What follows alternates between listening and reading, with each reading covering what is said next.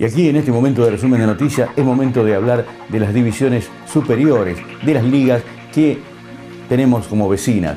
Por eso Martín Ojeda tiene toda la información con respecto a las ligas de la región en divisiones superiores, ya reserva y primera división.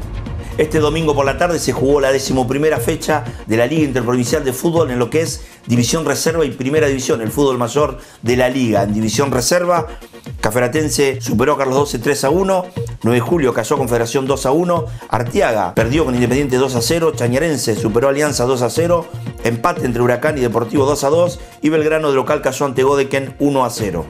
Las posiciones en División Reserva, Chañarense 23, Federación 21, Independiente 19, Centenario y Alianza 18, Caferatense 17, Artiaga 9 de julio, Belgrano 12, Carlos 12, 11, Deportivo 10, Godecan 9 cerrando Huracán con 3 unidades.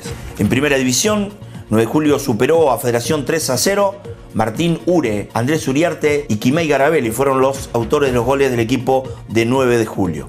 Arteaga de local le ganó a Independiente 2 a 1, Carlos Ciaira anotó los dos goles del equipo negro de Arteaga, mientras que Alfredo Russo descontó para el coreano de Chañar Ladeado. Chañarense le ganó a Alianza 2 a 1, Jonathan de Benedetto y Andrés Brennan marcaron para el merengue, mientras que Lucas Mancilla convirtió el gol del Villero. Huracán superó Deportivo 3 a 2, Alexis Cabrini y Lautaro Lázaro en dos oportunidades convirtieron para el Globito, mientras que Lucas Rodríguez y Emiliano Malpasi anotaron los goles de Deportivo. Por último, Belgrano superó a Godek en 2 a 1, David Gufanti y Tiago Sarantonero los goles del Pirata, mientras que el pistolero Gómez anotó el gol del Social Godeken.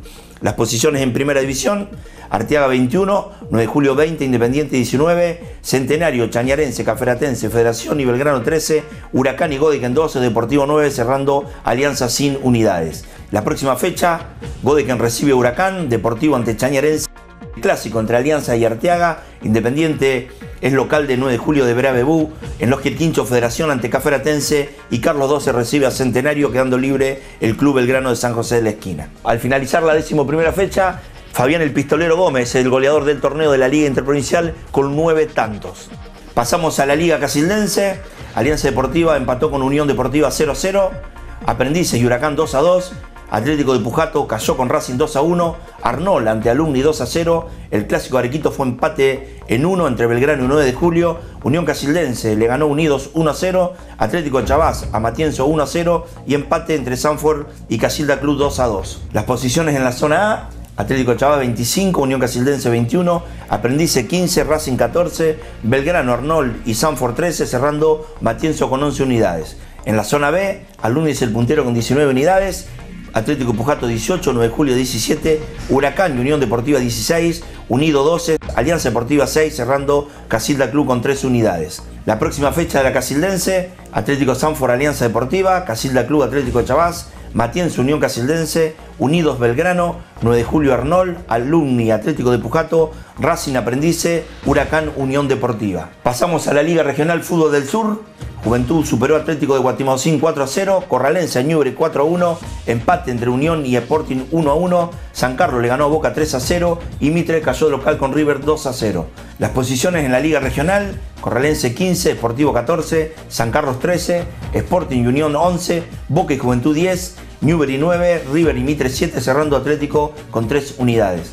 La próxima fecha, River recibe a San Carlos, Boca ante Unión, Sporting Corralense en el clásico de Corral de Bustos, Newbery ante Juventud y Atlético Guatemocín recibe Sportivo quedando libre Mitre.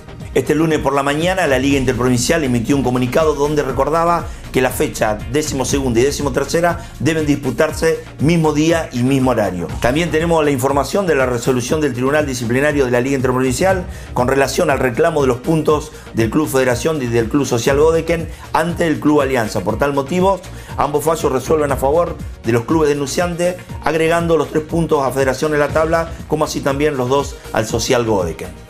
A raíz de este fallo, la Liga Interprovincial en Primera División está muy parejo, donde hay ocho equipos para cinco lugares, para ver quiénes son los ocho clasificados. Recordamos que Artiaga, 9 de Julio Independiente ya estarían casi clasificados para lo que va a ser los cuartos de final de la Liga Interprovincial. Hasta aquí toda la información de lo que pasó el día domingo con todas las ligas regionales. Nosotros volvemos en el próximo bloque con todo lo que ocurrió el día sábado con el fútbol infantil y juvenil. Muy bien, gracias Martín, toda la información al respecto, realmente siempre muy al día con la información del fútbol de las ligas. Eh, y ahora vamos a, compartir con ustedes un compacto de lo sucedido en cancha de Belgrano con Belgrano 2, Godeken 1, en un partido eh, complicado para Belgrano, para los dos. Uno de los factores fue el viento, indudablemente, y también porque creo que dos son equipos que estaban luchando por la clasificación, porque el que, perdía quedaba realmente casi al margen de la clasificación. Y bueno, creo que Belgrano sacó un triunfo muy importante, creo que se convirtió dos goles, creo que los dos goles, eh, más allá de los méritos que hizo Belgrano para convertirlos, está los errores del arquero, ¿no? El primero muy evidente, el segundo creo que eh, no sé si lo sorprendió o no atinó a hacer ninguna defensa para el disparo de Sarantonero.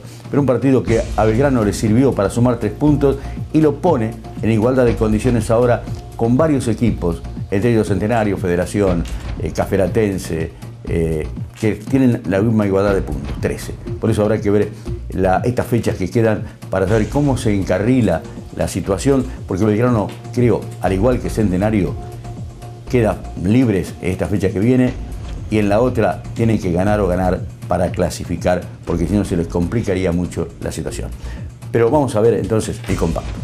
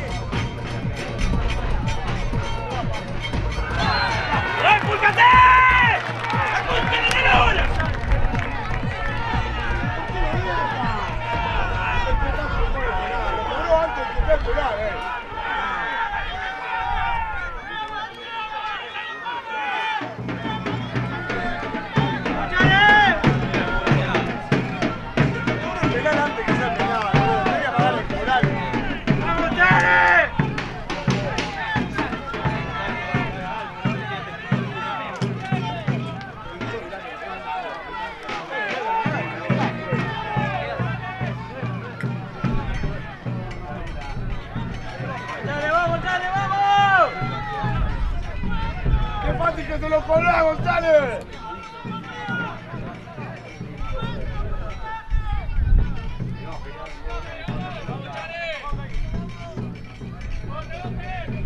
¡Golazo, Gómez! ¡Golazo!